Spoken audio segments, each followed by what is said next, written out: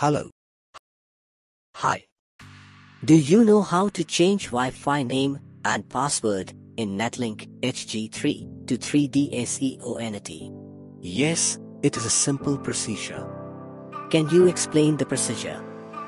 Sure, I will show you. Open your PC web browser. Enter your IP address on your URL 192.168.1.1. Type your username and password. Enter verification code and click on login button. Click network tab. Select 5G option. Select SSID. Change Wi-Fi name. See the cancel broadcast checkbox below. If you want to hide Wi-Fi, you can select the checkbox cancel broadcast. This will give you more security in places where you have a lot of Wi-Fi networks. But those who do this must be able to manually add Wi-Fi.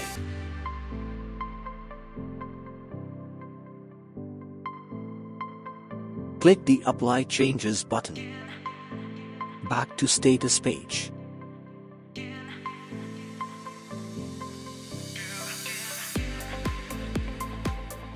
Click the User Information option.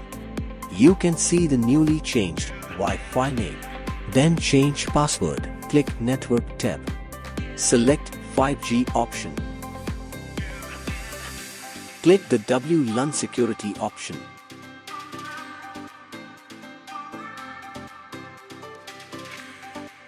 Then click Pre-Shared Key. Enter your new password. You can use lengthy passwords including characters, digits, and special characters. Click the Apply Changes button.